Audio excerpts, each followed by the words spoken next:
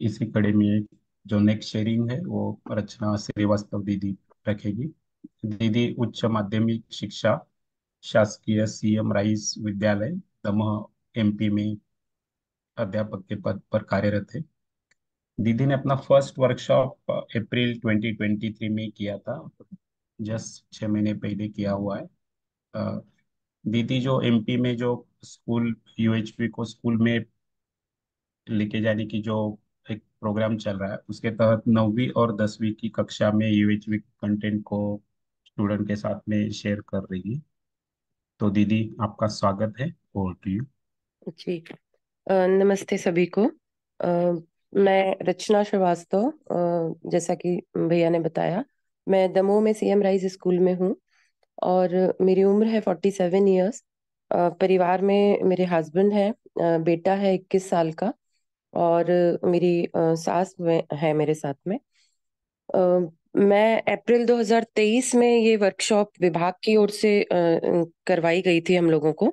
तो उसी के तहत स्कूल में मैं यूएचवी की कक्षाएँ ले रही हूँ। वैसे मैं कॉमर्स की टीचर हूँ और इलेवेंथ ट्वेल्थ में कॉमर्स का अध्यापन कराती हूँ। इस शेयरिंग में मैं स्टार्ट करूँ तो मैं बताना चाहूँगी कि बचपन से मुझे पढ़ने का शौक था। तो मैं बहुत छोटे थे जब हम लोग तो हमें कॉमिक्स दी जाती थी, अमर चित्र कथा पढ़ती थी। और उसमें एक बार गौतम बुद्ध की कहानी पढ़ी, जिसमें ये उन मतलब कहानी के अंत में ये था कि बुद्ध को ज्ञान प्राप्त हुआ और जिससे वो सुखी हो गए। तो मेरे ज़िंदगी मतलब मेरे अंदर एक ये प्रश्न उठता था लगातार कि ऐसा क्या चीज़ उनके हाथ लगी थी कि वो सुखी हो गए? मतलब जितनी भी तरह के उनके दुख से वो व्यथित हो रहे थे, वो ठीक हो गया। लेकिन फिर इस प्रश्न का उत्तर तो मिला नहीं बहुत समय तक। फिर शादी के बाद बहुत कुछ चीज़ें जो होती हैं परिवर्तित होती हैं और उनको संभालना थोड़ा कठिन होता है क्योंकि सही समझ भी नहीं होती है, नए संबंध और सब कुछ। तो वो सब भी कुछ एक दौर चल रहा था जब मैं थोड़ा परेशान और व्यथित रहती थी। उस समय लगता था कहीं कोई दिशा मिले तो अलग अलग दर्शन मैंने सुने। और उनको कुछ समझने की भी कोशिश की कुछ को आत्मसात किया पर बहुत सही तरीके से वो हो नहीं रहा था।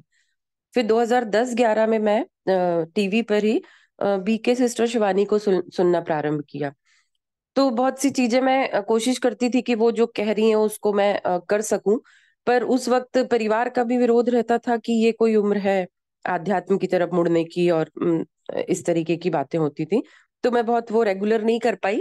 कुछ चीज़ें जो मैंने उसमें से आत्मसात करी या उसमें से अपने आप में डाली तो कुछ समस्याएँ थी जो मेरे को लगा कि वो एक्चुअली समस्याएँ नहीं थी, मैं बना के रखी थी और कुछ थोड़ा सा दिखा कि कहीं कुछ रास्ता है। पर वास्तव में ऐसा कुछ व्यवस्थित ढंग से नहीं कर पा रही थी।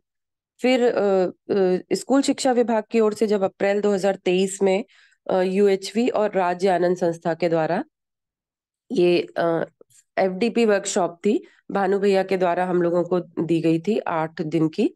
इससे जब मैंने अटेंड किया तो फिर जैसे एक मैं अगर खुद की फीलिंग बताऊँ तो एक चमत्कार जैसा होता है कि मुझे लगा कि ये पर्पस ऑफ़ लाइफ या जो मैं एक दिशा ढूंढ रही थी, एक व्यवस्थित ज्ञान जिससे मैं जुड़ के और अपने में परिमार्जन कर सकूँ, वो मुझे मिल गया। फिर मैं कोर्स करके आने के बाद टच में थी कि मुझे मॉर्निंग सेशंस में जुड़ना है तो एट्थ बैच को मैंने ज्वाइन किया। अ, मैं अब अभ्यास के विषय में अगर बताना प्रारंभ करती हूँ। जैसे अभ्यास एक में स्वयं के द्वारा स्वयं को देखना। तो इस स्टेप के साथ मैं अपनी कल्पनाशीलता के प्रति सजग हो गई हूँ। अब मैं अपने विचारों के पीछे के भाव को देख पाने में सक्षम होती हूँ। स्टेप टू और थ्री तक यदि आए तो मैं अपने भाव और अपनी स्थिति का मूल्यांकन भी कर पाती हूँ। जैसे ही कोई भाव मुझमें आता है, मैं देख पाती हूँ कि इस भाव के साथ मैं किस, इस कंडीशन में हूँ। मुझे संगीत में रहना है, सुखी रहना है और अगर यही सहज स्वीकृत है तो क्या ऐसा हो रहा है? जब ये मैं देख पाती हूँ तो अगले स्टेप फोर में मैं अपने भाव को तय करने की ज़िम्मेदारी भी ले पाती हूँ। मुझे अपने अनुकूल या प्रतिकूल भाव को उत्पन्न करने की शक्ति जो है वो मेरे पास है। इस बात की समझ भी आ रही है और इस शक्ति को इस्तेमाल करके, अपने भाव की उत्पत्ति की, मैं सह स्वीकृति के अधिक आधार पे अपने भाव को परिमार्जित भी कर पाती हूँ। मतलब यदि कोई प्रतिकूल भाव मेरे अंदर उत्पन्न हो रहा है तो उसको देखते हुए और फिर उसमें सही समझ डालकर और उसे मैं बदल पाती हूँ और अनुकूल स्थिति में पहुँच पाती हूँ। मुझे ये समझ में आ रहा है कि अगर भाव अनुकूल होता है तो फिर मैं निरंतर और अगर वो भाव निरंतर बना रहता है तो मुझे निरंतर सुख की अनुभूति होती रहती है। और स्टेप फाइव ने स्टेप स्पष्ट किया इस बात को कि उस भाव को जो प्रतिकूल हो रहा है अगर उसे परिमार्जित करना है तो उसे आ, सही समझ के आधार पे खड़ा करना पड़ेगा। मतलब अगर भाव का आधार सही समझ है सह स्वीकृति है तो वो ऑटोमेटिक अनुकूल होगा। और यदि अनुकूल है और हर क्षण बना हुआ है तो मैं निरंतर सुख में रहूँगी। तो ये जो वहाँ पे हम लोगों को एक बात बताई जा रही थी कि क्या आप सुखी होना चाहते हैं और निरंतर होना चाहते हैं। तो अभी इसको करने के बाद समझ में आया कि हाँ वो कैसे संभव होगा। फिर स्टेप सिक्स और सेवन में आ, मैं ये सुनिश्चित कर पाती हूँ कि इस क्षण मैं संबंध में संगीत और व्यवस्था में और सह अस्तित्व के भाव में यदि हूँ और सुखी हूँ तो इससे मुझे बनाए रखना है। और बनाए रखने की प्रैक्टिस वही है कि मैं अपनी सह स्वीकृति का उपयोग करती रहूँ और सही समझ के आधार पे भाव को तय करती रहूँ। तो अभ्यास एक तो मैं कर पा रही हूँ क्योंकि मेरी पुरानी भी प्रैक्टिस है कुछ और ये बहुत व्यवस्थित तरीके से है अभ्यास। तो मैं इसे तो स्टेप बाय स्टेप कर लेती हूँ। इस पर मैं कभी हाल ही में, एक मैंने कह लीजिए कि एक्सपेरिमेंट किया या मेरे को एकदम प्रत्यक्ष दिखा मैं उसे शेयर करूँगी कि मेरी एक रिश्तेदार हैं जिनसे कुछ सम, मतलब कुछ कुछ अंतराल में मुलाकात होती है और उनका स्वभाव है या उनकी आदत है कि वो अपनी बहुत तारीफ़ करती हैं अपने बच्चों की अपनी चीज़ों की अपने बारे में और लगातार उनके साथ मुलाकात में आपको वही बोलती रहेंगी और अपना बताती रहेंगी। तो जो पिछली मुलाकातें होती थी उनसे जब भी मिलना होता था तो बातचीत के दौरान मुझे बहुत बेचैनी होने लगती थी। और वो ना बोलने का मौका देती हैं ना आपकी किसी चीज़ पे ध्यान देती हैं तो कहीं ना कहीं उनसे मुलाकात बहुत आ, सुखद नहीं रहती थी पर मिलना पड़ता था। अब इस बार जब फिर ऐसी स्थिति बनी तो मैंने अपने इस अभ्यास को उपयोग करते हुए अपनी कल्पनाशीलता में इच्छा विचार और आशा को एक एक करके चेक करना शुरू किया। तो मुझे लगा कि मेरी उनसे ये आशा है कि वो अगर अपनी तारीफ़ कर रही तो मेरी भी तारीफ़ करे, मुझे भी सुने। जब इस बात को मैंने देखा तो फिर मैंने कहा, विचार क्या चल रहे हैं? तो समझ में आया कि ये क्यों सुने? क्योंकि क्या बस वही एक अच्छी है? क्या वही सब कुछ ठीक है? क्या मेरे पास, सॉरी, कुछ है नहीं? तो ऐसा सब मुझे विचार चलने लगे। फिर मैंने इसके पीछे अपने भाव को देखने की कोशिश की। तो समझ में आया कि जब भी मैं ऐसा वाला सोच रही हूँ उनके प्रति तो मेरे में अंतर विरोध आ रहा है। अब जब ये तीन चीज़ें दिख गई तो मुझे समझ में आया कि सह स्वीकृति तो मुझे संबंध के भाव में रहने के लिए कह रही है। और अगर संबंध के भाव में रहना है सह स्वीकृति का उपयोग करना है तो सही समझ को देखना पड़ेगा। तो मैंने देखा कि ये भी चूँकि इनकी भी चाहना पे मुझे शक नहीं करना चाहिए। ये किसी को दुखी नहीं करना चाहती हैं। सभी को ये भी सुखी करना चाहती होंगी पर चूँकि इनकी आदत है स्वभाव है या इनका ये योग्यता वाली में कमी वाली बात है कि इनको अपने बारे में बोलना अच्छा लगता है। और ये बात जैसे ही मैंने अपने अंदर इमर्ज करी तो मुझे वो एक बहुत मतलब बहुत अच्छी लगने लगी वो बहुत उन, उनके साथ में एक ऐसा संबंध का रिश्ता दिखने लगा। और इसी बात में ये भी आई कि मतलब इनसे क्यों मुझे अप्रिसिएशन चाहिए? मुझे ज़रूरत नहीं है मैं, मैं मेरे बारे में जानती हूँ। तो वो मुलाकात आसान हो गई। फिर घर आके भी कोई बेचैनी नहीं थी। घर में लोगों ने भी बोला कि, अरे, तुम बड़े खुश खुश उनसे मिलके आ गई। तो मैंने कहा हाँ वो मतलब आसान हो गया इस बार।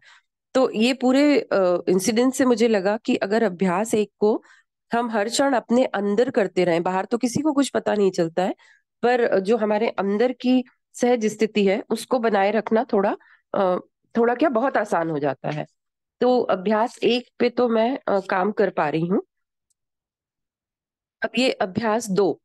इसके तहत मैं स्वयं को चैतन्य को और शरीर को अलग अलग देख पाती हूँ। शरीर से मिलने वाली सूचना और संवेदना को पढ़ने और महत्व देने का निर्णय भी मैं या चैतन्य द्वारा ले पाती हूँ इसे मैंने देखा है। लेकिन दृष्टा कर्ता भोक्ता ये तीन जो स्थिति है इसको मैं कभी कभी समझ पाती हूँ, पर इसके प्रति अभी मेरी समझ बहुत अधिक नहीं बढ़ पाई है। मैं कार्य कर रही हूँ प्रैक्टिस कर रही हूँ, पर थोड़ा वक्त लग रहा है। फिर मैं स्वयं को संवेदना और शरीर से अलग हूँ, ये समझने का पूरे ये समझ आती तो है कई बार, पर ये पूरे समय नहीं बनी रहती है। तो कई बार शरीर को लेके और मैं भी परेशान हो जाती हूँ, जैसे कभी कुछ कोई दर्द है या फिर कुछ कभी ऐसा होता है कि मुझे लगता है कि मैं दोनों को अलग नहीं कर पा रही हूँ और शरीर का जो संवेदनाएँ हैं या जो भी परिवर्तन है वो मुझे प्रभावित कर रहे हैं। कोशिश इसकी भी मैं कर रही हूँ।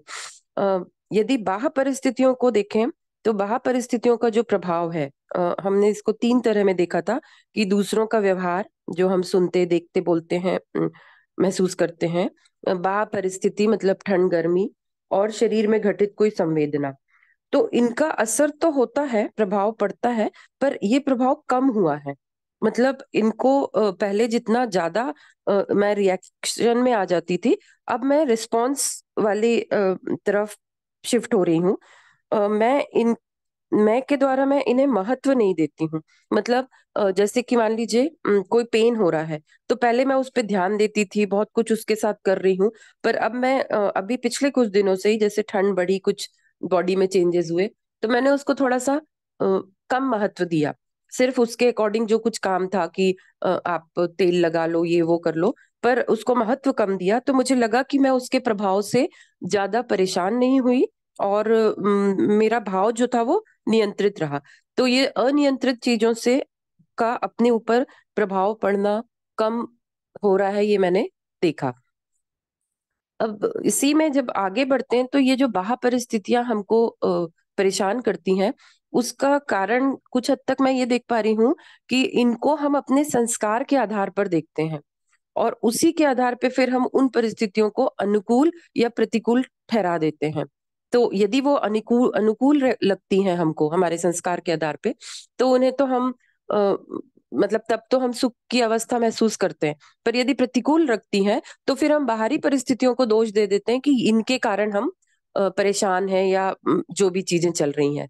तो ये ज़िम्मेदारी हमको खुद उठानी पड़ेगी कि बाहर परिस्थितियाँ जो हम संवेद अपने संस्कार के आधार पे अगर हमने उनको कोई समझा है तो उसको संस्कार को हमको अपना चेक करना पड़ेगा। अब यदि संस्कार को देखते हैं तो उसको अगर वो प्रतिकूल प्रभाव ले रहा है तो उसे परिमार्जित करने के लिए फिर हमको सही समझ और सहज स्वीकृति की ओर जाना पड़ेगा। तो लेकिन संस्कार हमारे बहुत गहरे डले हुए हैं, जो मान्यता आधारित भी होते हैं। तो उन मान्यताओं को तोड़ना या उनको परिमार्जित करना, ये थोड़ा सा एक कठिन कार्य है। और इस अभ्यास को मैं अभी कर तो रही हूँ पर अभी इनके परिमार्जन में थोड़ा वक्त लगेगा, क्योंकि आसपास का वातावरण और जो भी चीज़ें पुरानी बनी हुई है मुझमें उनको पहले तो उनको पॉइंट आउट करना और फिर उनको बदलना। तो इस प्रक्रिया को तो प्रारंभ किया है, पर इसमें अभी वक्त लगेगा। एक बात इसमें और निकल के आई कि सही समझ आधारित संस्कार जो है, वो मुझे स्वतंत्रता और व्यवस्था में बने रहने का अनुभव कराते हैं। तो ये मैंने महसूस किया पिछले जो मैं आपको उदाहरण दे रही थी वो जिनसे मैं मिलने गई थी तो जैसे ही मैंने अपनी सही समझ का उपयोग शुरू किया तो मैं उनके किसी भी बोलने से अप्रभावित हो गई। मतलब मुझको उनका बोलना बेचैन नहीं कर रहा था। तो मुझे लगा कि मैं स्वतंत्र हूँ उनके बोलने और नहीं बोलने से कोई फ़र्क मुझ पे नहीं पड़ रहा है। तो एक ये स्वतंत्रता का भाव आया और दूसरा मुझे लगा कि आ, मैं व्यवस्था में बनी हुई हूँ वरना उनसे मिलने के पहले और मिलने के बाद बहुत समय तक मन में वही विचार गुस्सा और चिड़चिड़ ऐसा चलता रहता था। पर इस बार ये हुआ कि मैं उनसे मिलने के दौरान भी और उसके बाद भी मैं व्यवस्था में बनी रही। तो ये चीज़ तो समझ आ रही है कि यदि आप सही समझ का उपयोग करके अपने संस्कारों का परिमार्जन करेंगे भाव ठीक करेंगे तो आप स्वतंत्र और व्यवस्थित भी अनुभव करेंगे या बन जाएँगे। और इसी पॉइंट में ये बात भी समझ में आया कि मेरा जो सुख है वो प्रभाव से हटकर स्वभाव बन रहा है। मतलब अब अगर मैं अपनी आ, समझ और स्वीकृति सहज स्वीकृति को आ, थामे रहती हूँ या उसको बनाए रखती हूँ तो जो सुख है वो मेरे लिए प्रभाव ना होकर अब मेरा स्वभाव बन पा रहा है धीरे धीरे इसमें हो रहा है लेकिन अ, मतलब एकदम शिफ्ट नहीं होता है पर धीरे धीरे एक प्रक्रिया चल रही है और मैं इसे देख पा रही हूँ। स्टेप सेवन जो है वो अभी पूरी तरह अनुभव नहीं हो रहा है क्योंकि स्वयं को शून्य के सहअस्तित्व में देखने का प्रयास तो कर रही हूँ। कुछ ध्यान भी लगाती हूँ मैं शाम के समय और मॉर्निंग में भी पर वो एक कंटिन्यूस नहीं हो पा रहा है, उसके लिए मैं प्रयासरत हूँ। तो इतना था मेरा अभ्यास, एक और अभ्यास दो का पर जो मैं काम कर रही थी। अब जो कार्यक्रम है, वो अब मेरा अधिकतम कार्यक्रम शरीर से हटकर चैतन्य के अर्थ में बनने लगा है। बहुत सारी बातें हैं और जो मान्यताएँ हैं, जो हम शरीर के अकॉर्डिंग करते थे, जैसे यही एक कि वो भी मेरी तारीफ़ करें। तो अब ये चीज़ मेरी हट गई है और मैं अपने आप को जानती हूँ मतलब मैं अपने मैं कौन हूँ या मैं सेल्फ को समझती हूँ तो मुझे अब अप्रिसिएशन की आवश्यकता नहीं रह गई है। इसी में एक बात और आती है कि अभी एक हाल ही में हमको एक विवाह समारोह में जाना था तो बड़ी सारी, जैसा कि चलता है कि स्वेटर पहनेंगे तो ड्रेस अच्छी नहीं दिखेगी, ये वो ऐसा सब एक दो विचार मन में आए और तुरंत मैंने फिर उनकी चेकिंग करी। तो मुझे समझ में आया कि सहज स्वीकृति और मौसम जो बोल रहा है, उस हिसाब से आपके शरीर को प्रोटेक्शन चाहिए है। और हम क्यों स्वेटर नहीं पहनना चाहते हैं या फिर अपनी ड्रेस दिखाना चाहते हैं? तो फ़ौरन स्पष्ट होने लगा कि दूसरों के अप्रिसिएशन के लिए। तो फिर पूछा कि उसकी क्या ज़रूरत है? तो फिर समझ में आ गया कि नहीं, सुखी रहने के लिए अप्रिसिएशन का कोई संबंध ही नहीं है। मैं छोड़ सकती हूँ और मैं अपने कंफर्ट में जा सकती हूँ। तो मैं बड़ी कॉन्फिडेंट होके उस विवाह समारोह में स्वेटर वगैरह पहन के गई और मुझे लगा कि ये परिवर्तन है कि मैं अब शरीर से हट के और मैं के बारे में सोच के अपने कार्यक्रम बना पा रही हूँ। तो ये जो एक, दो तीन चीज़ें मैंने अपने में देखी, ये मुझे काफ़ी इनसे मतलब बल मिला कि मैं सही दिशा में अपने कार्यक्रम को बढ़ा रही हूँ। जो अपने पर टाइम देने का या इस कार्यक्रम के लिए समय देने की बात है तो मैं मॉर्निंग में एक घंटा तो इस सेशन से जुड़ी हुई हूँ। नाइन्थ बैच में भी रजिस्ट्रेशन करवाया है। इसके अलावा मैं सुबह थोड़ा सा ध्यान और कुछ बॉडी के लिए योगा वगैरह करती हूँ। तो उसमें ही ये चीज़ें सुनती रहती हूँ। कुछ यूट्यूब में जो वीडियोस हैं वो डले हैं, उनको मैं सुनती हूँ। फिर शाम को एक घंटा मैं स्टडी में लगाती हूँ। कोशिश करती हूँ कि उस समय कुछ ऐसा यही सारे जो अभ्यास है और हमारे को टेक्स्ट बुक मिली हुई है नाइन टेंथ को पढ़ाने के लिए और उसमें एक अभ्यास पुस्तिका भी है और पाठ्य पुस्तक भी है। तो उनको भी करती हूँ क्योंकि हर सैटरडे को हम लोगों को ये क्लास लेनी होती है। तो उनको थोड़ा सा करती हूँ। फिर भागीदारी के तौर पे यदि मैं अपना बताऊँ तो इस समय वही क्लासेस ले रही हूँ मैं। और चूँकि मेरे में कुछ चार छह महीने में परिवर्तन हुए हैं, और मेरे साथ में जो सॉरी एक और टीचर थी, जिन, जो, जिन्होंने ये वर्कशॉप अटेंड किया था तो उन्होंने भी प्रैक्टिस की है, और वो भी चल रही है तो वो भी और हम भी, जब हम लोगों का व्यवहार स्टाफ में दिखता है तो लोगों को ये लोग ये पॉइंट आउट करते हैं कि मतलब आप लोगों में काफ़ी चेंज आया है। कभी तो वो इसको बोलते हैं कि ये इतनी इंपॉर्टेंट नहीं है, पर कभी कभी बोलते हैं कि नहीं, ये वर्कशॉप करके आप लोग जब से आए हो तो आप लोग काफ़ी सुलझे हुए लग रहे हो। तो उन लोगों को जब ये बात ये लोग बोलने लगे तो मैंने अभी कुछ दिन पहले अपने स्टाफ से कहा कि यदि वो चाहें तो मैं इस कंटेंट को जितना मैं समझती हूँ उनके साथ शेयर करूँ। तो अभी कुछ दिनों से हम लोग स्टाफ के साथ एक, दो, हफ़्ते में जिस समय भी वक्त मिलता है तो बैठ के कुछ मैं चीज़ें प्रस्ताव के तौर पे रख पाती हूँ और मैडम भी, और फिर उससे हम लोग की एक चर्चा तो बनती है। तो लोगों को इसके प्रति मतलब इसकी समझ आ रही है कि ये जो भी चीज़ है यूएचवी का जो कंटेंट है, वो एक काफ़ी व्यवस्थित और बहुत उपयोगी है। इसको वो समझ रहे हैं। इसमें मैं एक चीज़ और जोड़ना चाहूँगी कि अभी मैं एक छोटा सा प्रयोग कर रही हूँ। एक कक्षा नौवीं का छात्र है हमारे स्कूल में और वो बहुत उद्दंड प्रवृत्ति का बच्चा था। तो जो सेशन पिछले सालों में भी और सेशन के स्टार्टिंग से टीचर्स उससे बहुत परेशान है और वो अक्सर मतलब पनिशमेंट के तौर पे उसको कुछ ना कुछ मिलता रहता है उदम करने पर। और उसके जब पेरेंट्स को बुलाते हैं अगर बताने के लिए तो उसके पेरेंट्स ऐसे हैं कि उसके फादर उसको वहीं मारने लगते हैं या मारते हुए ले जाएँगे इस तरह से। तो मैं मैं पढ़ाती नहीं हूँ उस क्लास में, पर मुझे लगता था कि वो बच्चे से कुछ बात करनी चाहिए। फिर पिछले डेढ़ महीने से मैंने उसको बुलाया, बैठाला। पहले तो वो डरा कि शायद मैम डांटेंगी कुछ, पर फिर धीरे से मैंने उससे बात की परिवार के बारे में। फिर मैंने उसके सामने कुछ प्रस्ताव रखे कि तुम मार खाते हो तो तुम्हें कैसा लगता है? तो बोला, दुख लगता है। फिर कभी कभी तो इच्छा होती है कि मैं कुछ कर लूँ। फिर मैंने कहा तो इसके लिए जो कार्यक्रम तुम बना रहे हो, वो क्या सही चल रहा है? ऐसे उससे कुछ बातें की, मैंने कहा, कुछ कार्यक्रम चेंज करो, कुछ कार्य करते हो तो उस वक्त सोचो कि ये करने के बाद अगर मार पड़ेगी तो इसे ना किया जाए।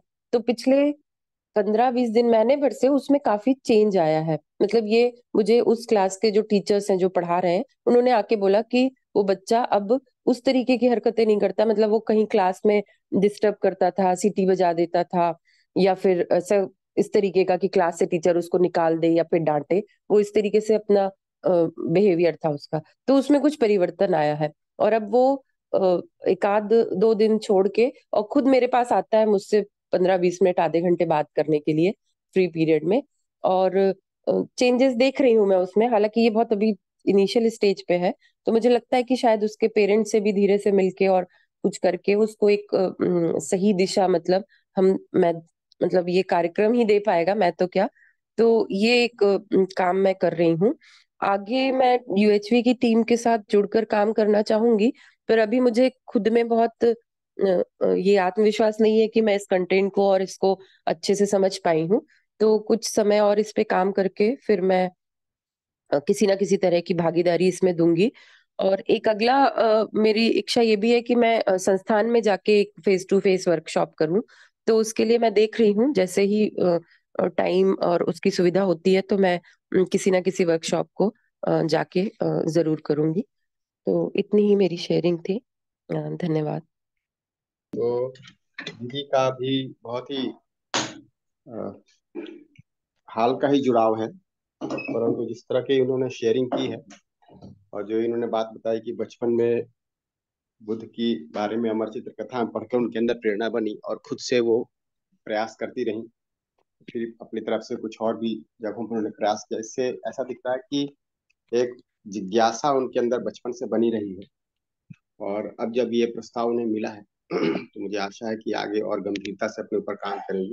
पिछले कुछ महीनों में ही दीदी ने एक अच्छी गति की है और जिस तरह से उन्होंने पूरी पारदर्शिता से बताया कि कैसे उनके भाव बिगड़ जाते थे छोटी छोटी चीज़ों में उन्होंने ऑब्ज़र्व किया, कोई उनके साथी अगर कुछ शेयरिंग कर रही हैं तो उनका कैसा भाव बन रहा है? पार्टी में कोई वस्त्र पहन के जाना है तो कैसा भाव बन रहा है? इससे दिख रहा है कि अपने ऊपर ध्यान दे रही हैं गंभीरता से और इसमें एक अच्छी संभावना मुझे दिखाई दे रही है। मुझे आशा है कि आप और अभी फैल के भागीदारी करेंगी। सुबह के सत्र में भी जुड़ी रहेंगी। और एमपी में अभी जिस तरह का काम शुरू हुआ है स्कूल एजुकेशन में उसमें अभी कई साथियों की ज़रूरत है उस काम को इफ़ेक्टिव बनाने के लिए। अभी सीएम राज स्कूल में जो काम चल रहा है उसमें अगर हम लोग ढाई सौ स्कूलों में ठीक से काम करें तो आने वाले समय में बहुत अच्छी संभावना बनेगी समाज में। धीरे धीरे वो और स्कूलों में भी जाना है। तो आप उसके लिए मन बना कर रखें। अभी आपका जो प्रोफेशनल एंगेजमेंट है किस प्रकार से रहता है? मंडे टू सैटरडे है या मंडे टू फ्राइडे है? नहीं सर मंडे टू सैटरडे है टेन थर्टी टू फाइव तो अच्छा। जी तो थोड़ा ज़्यादा वक्त वहाँ चला जाता है। पर मैं कोशिश कर रही हूँ कि थोड़ा सा मैं इस कंटेंट से थोड़ा और मैं कॉन्फिडेंट हो जाऊँ। तो मैं स्कूल में भी जैसे मैंने स्टाफ के साथ शुरू किया है तो मैं फिर संपर्क करके कुछ या तो टीचर्स के लिए कुछ प्रोग्राम या अभी उनमें एक उत्सुकता यदि जॉब और बचा हुआ आपका? आ, सर अभी तो मेरा दस बारह साल और जॉब है। अच्छा। जी मैं एक्चुअली पहले कॉलेज में थी आ, फिर ये अभी जो एग्ज़ाम हुए थे 2018 में उसको क्रैक करके मैं ये स्कूल एजुकेशन में आई हूँ। और किस क्लास में पढ़ाती हैं आप? सर मैं इलेवन इलेवेंथ और ट्वेल्थ में कॉमर्स पढ़ाती हूँ वाणिज्य विषय। अच्छा अच्छा। बढ़िया दीदी। तो ठीक से और मन लगाएँ। हाँ जी ज़रूर। धन्यवाद। जी और वहाँ जो भी फेस टू फेस कार्यक्रम होते हैं निवास आपका किस शहर में है? आ, सर भैया ये दमोह है सागर जबलपुर के बीच में दमोह। हाँ हाँ दमोह जानता हूँ हाँ। जी जी। मैं कोशिश करूँगी अब ये भोपाल इंदौर में कोई भी वर्कशॉप होगी तो मैं वो ज़रूर अटेंड करूँगी। मैं संपर्क में भी हूँ और राज्य आनंद संस्था भी शायद फिर से यदि कराता है तो मैं वहाँ ज़रूर जाऊँगी इसमें। और संस्थान भी जाने का मैंने मन बनाया है तो इस वर्ष में तो मैं ज़रूर एक आध बार वो आवासीय जो वर्कशॉप होती है उसे हाँ करूँगी। आ जाइए आप कभी कानपुर में।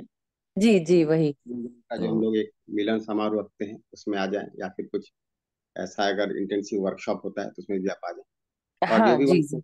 कार्यक्रम होते हैं आपको तो अभी प्रशासन की तरफ़ से उसमें जाने की अनुमति भी मिल सकती है। तो हाँ जी। प्रयास करें कि आप ज़रूर पहुँचे तो बहुत ही जी अच्छा जी रहेगा। अभी फ्राइडे की जो मीटिंग होती है वो भी मैं अटेंड करती हूँ क्योंकि वो स्कूल के लिए होती है यूएचवी की तरफ़ से जी। प्रत्येक शुक्रवार को शाम को। जो हम लोग को क्लास में पढ़ाना है वो किस तरह उसकी प्रॉब्लम्स और वो सब के बारे में। तो अभी मैं वो भी कर ही रही हूँ। थोड़ा सा अ, मुझे लग रहा है कि थोड़ा सा मेरे में और इम्प्रूवमेंट हो जाए तो फिर मैं थोड़ा और सक्रिय भागीदारी अपनी दूँगी। जी और मॉर्निंग सेशन में आप जुड़े रहें हाँ वो मैं जुड़ी रहूँगी वो तो वो मतलब ये मैं कह ही रही हूँ आपसे कि पर्पस ऑफ़ लाइफ जो होता है जिसको मैं ढूंढ रही थी अब वो मुझे एक दिशा मिल गई मतलब मैं अपने आप को नौकरी के बाद भी देख पा रही हूँ कि मैं एक बहुत सार्थक काम में जुड़ी रहूँगी और बहुत धन्यवाद यूएचवी का और मुझे लगता है कि बहुत फोर्सफुली हमें भेजा गया था वहाँ पे वाल्मी में ये वर्कशॉप के लिए।